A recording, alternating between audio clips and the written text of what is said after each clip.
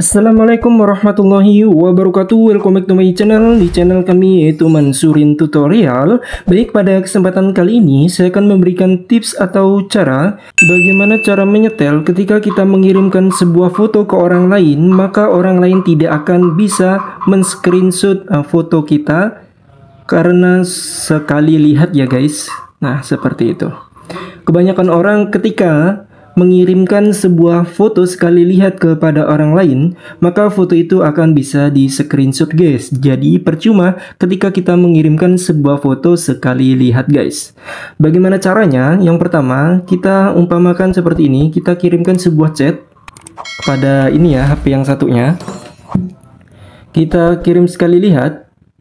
Contoh saja kita yang ini. Sekali lihat. Maka kita buka.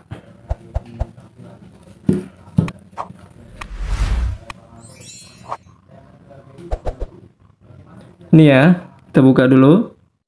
Maka ini akan sekali lihat. Coba kita screenshot dulu. Maka dia tidak bisa ya guys. Tuh seperti itu.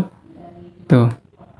Sehingga ketika kita ngirim pesan sekali lihat itu akan aman guys. Dari orang lain yang mencoba melihat kembali uh, isi pesan tersebut.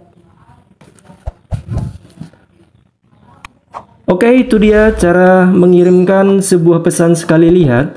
Tanpa orang lain itu bisa men-screenshot pesan tersebut guys Sekian tutorial dari kami, semoga bermanfaat buat kalian semua dan semoga kalian paham terhadap penjelasan yang ada di video kami guys.